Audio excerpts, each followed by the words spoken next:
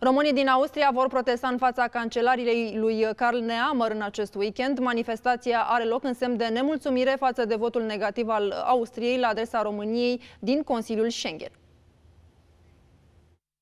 Domnul uh, cancelar nu știe că are și niște români acolo. Sunt vreo 150.000 de români care au uh, documente în regulă, au rezidență și sunt, uh, credem noi, că undeva la 50.000 care au cetățenie austriacă și așa cum știm, în Austria nu există cetățenie dublă, nu mai au cetățenie română. Să nu uităm că cei 50.000 au drept de vot Uh, și la alegerile generale, cumva poate că, uh, cum toată lumea vorbește că domnia sa a făcut un, cumva un calcul electoral și a crezut că va câștiga în urma acestui uh, gest care l-a făcut României, s-ar putea să fie o pierdere pentru el, pentru că acești români și ei și familiile lor și prietenii lor